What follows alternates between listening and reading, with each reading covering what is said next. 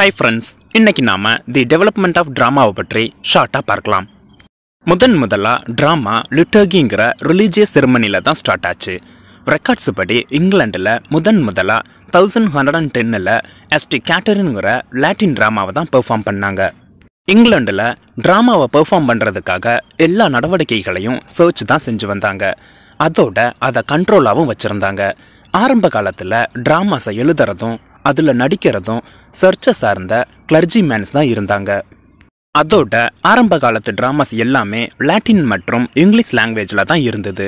லேட்டராக இந்த ட்ராமாஸை பார்க்கறதுக்காக மக்கள் அதிகமாக வர ஆரம்பித்ததும் ட்ராமாவை சர்ச்சோட தாழ்வாரத்தில் நடத்த ஆரம்பித்தாங்க மேலும் மக்கள் அதிகமாக வர ஆரம்பித்ததால் கிராம பகுதியில் இருந்த பசுமையான பகுதிகளில் ட்ராமாஸை நடத்த ஆரம்பித்தாங்க கொஞ்ச நாளில் கிளர்ஜிமேன்ஸ் மட்டுமே நடிச்சுக்கிட்டு இருந்த ட்ராமாவில் சாதாரண லே மேன்ஸும் நடிக்க ஆரம்பிச்சாங்க. அதோட லாட்டின் லாங்குவேஜுக்கு பதிலாக இங்கிலீஷ் லாங்குவேஜ்லேயே ட்ராமாஸையும் எழுத ஆரம்பிச்சாங்க. என்னதான் இங்கிலாந்து பீப்புளோட வசதி அதிகமாக இருந்தாலும் 14th செஞ்சுரி வர ரிலீஜியஸ் ட்ராமா டெவலப் ஆகாமல் தான் இருந்தது. ஆரம்ப காலத்தில் religious drama mystery plays and miracle பிளேஸ்னு ரெண்டு வகையாக இருந்தது. மிஸ்ட்ரி பிளேஸில் பைபிள் பேஸ்டான கதைகளை நடித்து காட்டுவாங்க. அதாவது மோசஸ் அப்ரஹாம் நோஹாக் டேனியல் போன்ற கேரக்டர்ஸில் நடித்து காட்டுவாங்க. பொதுவாகவே இந்த ட்ராமாஸ் பிப்ளிகல் தீம்ஸை தான் பேஸ் பண்ணியிருக்கோம். இந்த வகையான ட்ராமாஸ் கிராம பகுதிகள்லையும் மூவபிள் ஸ்டேஜஸை யூஸ் பண்ணியும் நடித்து காட்டுவாங்க. இந்த வகையான ட்ராமாஸ் இங்கிலாண்டில் மிடில் ஏஜஸ்லையும் குறிப்பாக ரெனைசன்ஸ் டைமில் அதிக அளவில் வளர்ச்சி அடைஞ்சிச்சு. இந்த வகை ட்ராமாஸில் fall of man birth of Christ crucifixion ரெசரக்ஷனுங்கிற events தான் பெரும்பாலும் அமைஞ்சிருக்கும். இப்போ நாம் மிராக்கல் பிளேஸை பற்றி பார்க்கலாம். மிராக்கல் பிளேஸ் பெரும்பாலும் ST Thomas ST Joseph Jesus போன்ற சயின்ஸோட கதைகளை சொல்கிற விதமாக தான் அமைஞ்சிருக்கும். Play of sacrament the conversation of ST Paul and Mary மேக்டலனுங்கிற plays எல்லாம் 15th செஞ்சுரியில் ரொம்ப ஃபேமஸாக இருந்தது. லேட்டராக லேட் மிடில் ஏஜஸில் மொராலிட்டி பிளேஸ் டெவலப் ஆக ஆரம்பிச்சுது.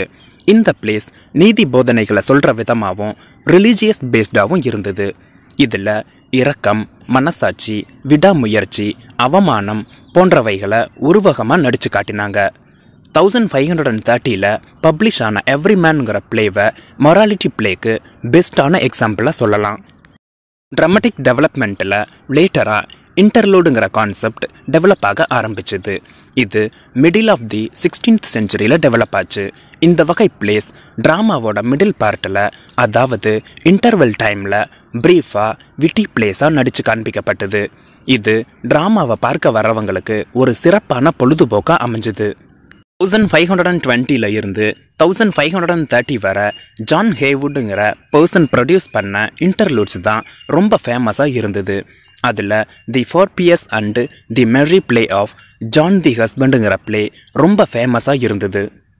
லேட்டராக தான் ரெகுலர் காமெடி பிளேஸும் ட்ராஜடி அண்டு காமெடி பிளேஸும் டெவலப் ஆக ஆரம்பிச்சுது. இதில் thousand five hundred and fifty டூவில் ரைட் பண்ணி thousand five hundred and sixty சிக்ஸில் பப்ளிஷ் பண்ண நிக்கோலஸ் உடால் எழுதின ரால்ஃப் ராய்ஸ்டர் டாய்ஸ்டருங்கிற காமெடி ரொம்ப ஃபேமஸாக இருந்தது. அது மட்டும் அல்லாமல் இதுதான் இங்கிலீஷ் லிட்ரேச்சரில் முதல் காமெடி பிளேவாகவும் இருந்தது. இந்த பிளே ஃபைவ் ஆக்ட் அண்டு சீன்ஸோடையும் இருந்தது. அதை தொடர்ந்து லேட்டராக ட்ராஜடி பிளேஸும் டெவலப் ஆக ஆரம்பிச்சது. தாமஸ் நாட்டனும் தாமஸ் ஆக்வேலுங்கிற பர்சனும் எழுதின கர்படக்குங்கிற பிளே தான் இங்கிலீஷ் லிட்ரேச்சரோட முதல் ட்ராஜிக் பிளேவாக இருந்தது. இதை ஃபெரரெக்ஸ் அண்டு பெரரெக்ஸுங்கிற நேம்லையும் சொல்லலாம். இது thousand five hundred and sixty ஒனில் முதன் முதலாக பெர்ஃபார்ம் பண்ணப்பட்டுச்சு. இந்த பிளேஸோட மெயின் மோட்டிவ் என்னன்னா ரிவெஞ்ச் எடுக்கிறது தான். ஓகே ஃப்ரெண்ட்ஸ் இது வரைக்கும் நம்ம சேனலை சப்ஸ்கிரைப் பண்ணாதவங்க மறக்காமல் சப்ஸ்கிரைப் பண்ணுங்கள் அண்ட் இந்த வீடியோ உங்களுக்கு பிடிச்சிருந்தா லைக் பண்ணுங்கள் உங்கள் ஃப்ரெண்ட்ஸுக்கும் ஷேர் பண்ணுங்கள் Thanks for watching.